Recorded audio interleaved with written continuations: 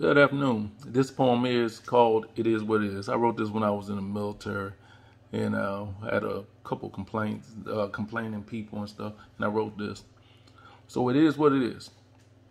All right, here goes. Listen up, for this tale is true, for if your feelings get hurt, hell, I'm talking to you.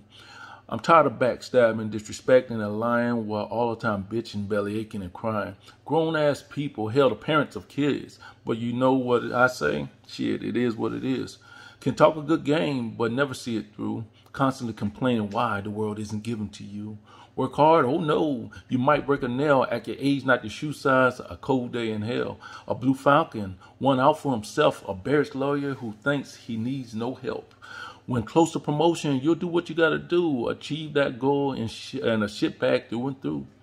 But when you're on that carpet and receiving the biz, remember what I said. It is what it is. Please subscribe if you like the poem. If you don't like the poem, please leave a comment. All right now.